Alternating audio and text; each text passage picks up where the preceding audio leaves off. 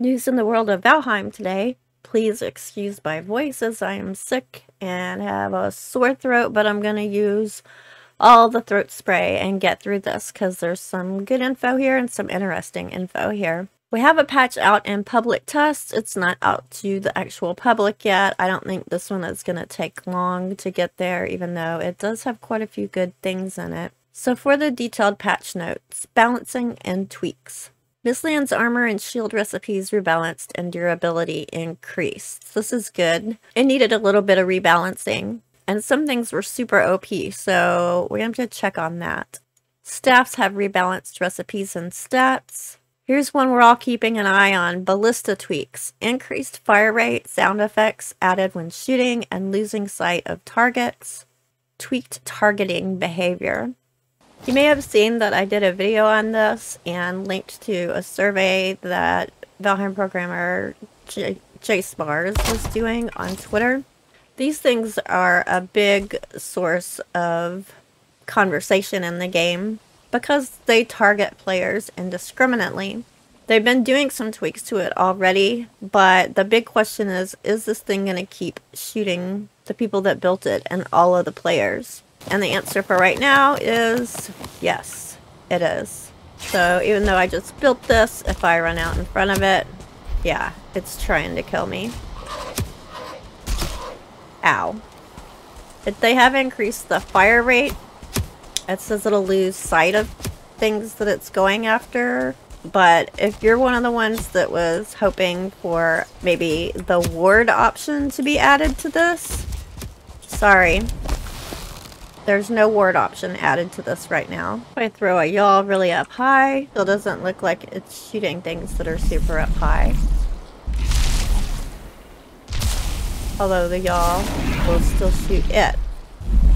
And that is one of the changes as well. The Gjall only shoots once now instead of twice. But we'll get to that in a second. The ballista ammo recipes are cheaper. Black metal missiles times 20 since you can do multiple at a time now. Take 10 wood and only one black metal. The wooden ones take 5 core wood and 2 leathers. Maybe they're thinking this is to compensate for the fact that it's constantly throwing out missiles and wasting resources if it's shooting at yourself. When asked on Twitter what was changed by Ecto, Valheim replied cooldowns, turn rate, and some sound effects. It'll still target friendly creatures, so you need to continue to be careful around it. Yeah, like don't put any pets around it because it'll kill them too. Lots of people are not happy with how this thing is working, and a lot of people I think are just gonna not build it Here's a really good one. Mistland Seeker event tweaked. It will no longer trigger in meadows, swamps, mountains, or ocean. It will no longer spawn Seeker soldiers, and the amount of Seekers and broods has been rebalanced. This event was insane. And people that spent hours and hours and hours, like massive amounts of time making a beautiful build and other biomes to have it just destroyed, I could see it making somebody rage quit. So that's a really good adjustment.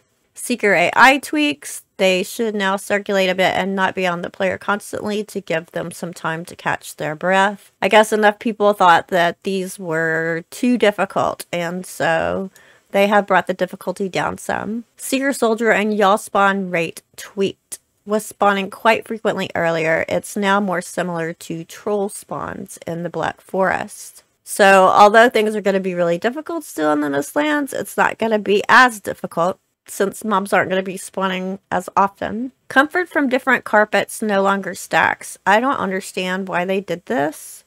I have a feeling a lot of people are going to be ticked about that. I don't know. I didn't I didn't hear anything about that coming in advance, so I don't know what the reasoning is. Like we saw before, the Gjall now only shoots one projectile at a time instead of two. I mean, I kind of like that because getting shot twice in a row by a Gjall that's serious. Hare running speed slightly decreased. I think this is a good one too. Those hares were so freaking hard to catch. One, oh my gracious. I think that's a good change. Tetrabite uses Fenring Trophy instead of Ulv Trophy. So I guess there's a little bit of debate around this one going on. They did Fenring instead of Ulv because they're thinking that Fenring is easier to get than Ulv trophies and they respawn, whereas Ulv trophies don't.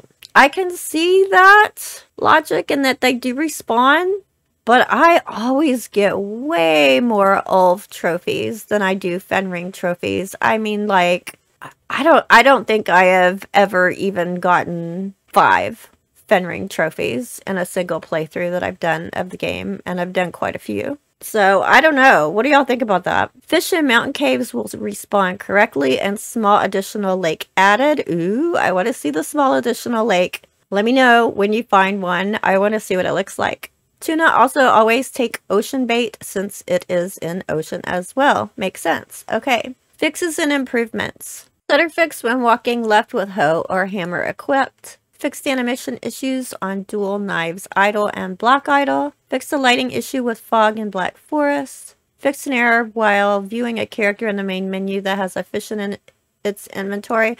I don't know what that was, but I hope it showed the fish on the person's head because that would be funny. Fixed an issue that could cause the Mistlands boss to escape. Sorry, your grace. That would suck. Spawn skeletons will unsummon correctly after rejoining a network game. Find console command shows absolute position rather than offset. Handy. Mating hints no longer sound like boars. Correct effects will now be shown when placing marble bench at table. Music will fade out correctly for dungeons and locations when continuous music is turned off. Some locations that had looping music will now only be played once.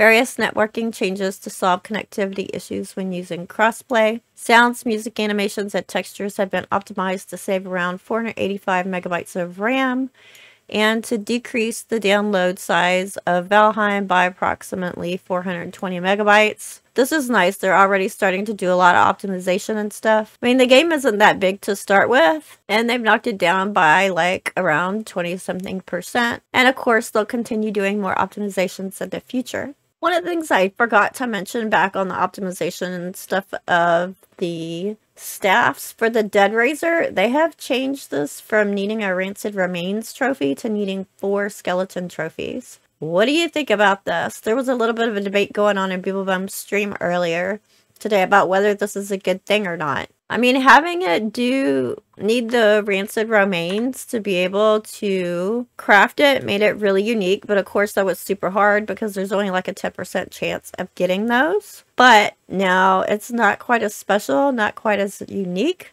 Should they have just made rancid remains a little bit easier to get or should they left it alone? Another thing that I don't I haven't seen mentioned as much that I wanted to mention too, which isn't really on this update, but just in general. With the Mistlands update, they changed how crypts are spawning in the swamps. And they're way, way significantly less common than they used to be. Because the devs decided that they were way too high.